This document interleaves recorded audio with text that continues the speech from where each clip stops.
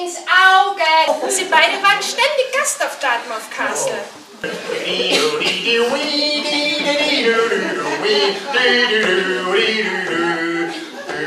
Uns verbindet eine tiefe und innige Liebe.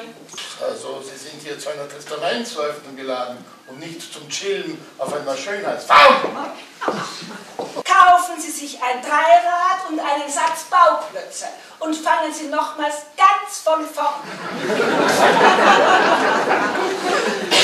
Ich werde dem Ganzen noch eine Chance geben.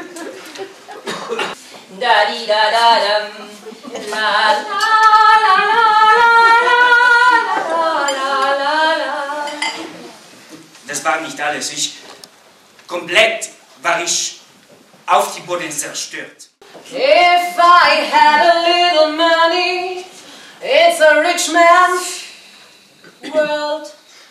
Na sowas. Ihr Mädels macht eine Halloween-Party und sagt mir nichts?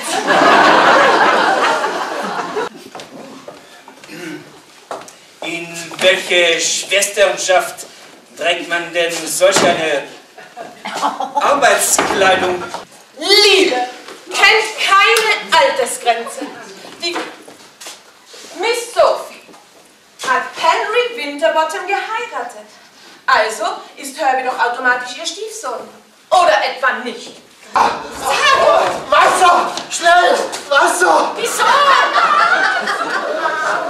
Ich empfinde die Anschuldigungen dieser kleinen Serviermaschine als lächerlichen Fauxpas. Die Lüste sind verwendet. Mir ist egal, anderen drüber denken. Miss Sophie fand es amüsant, wenn er zu jedem Platz ging und jeden ihrer vier zu Tode gekommenen Ehemänner nachäffte. Ich möchte Ihnen mein tief empfundenes Beileid ausdrücken. Er war nun mal die Liebe meines Lebens. Natürlich war er das.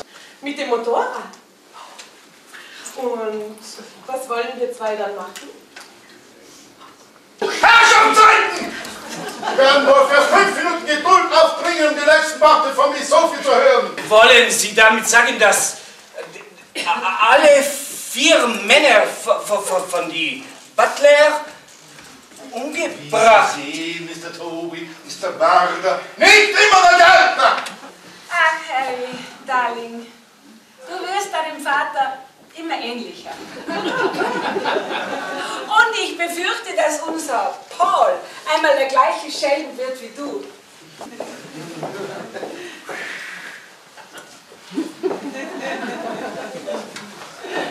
Well, I will do my very best.